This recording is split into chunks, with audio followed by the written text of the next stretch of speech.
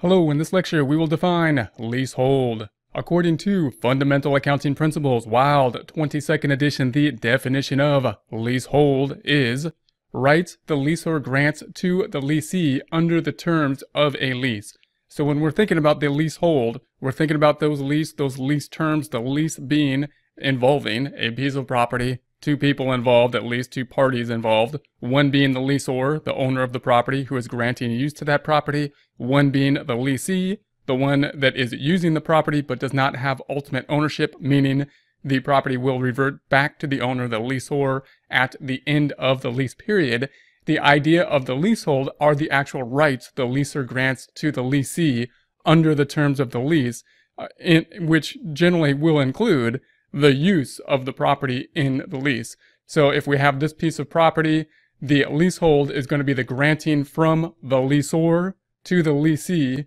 of the use of this property for a certain time period in exchange for rent for that time period. So as that time period passes, then we're going to have the rent that will be accumulating going from the lessee to the lessor. At the end of the term of the lease, then the property will revert back from the lessee to the lessor.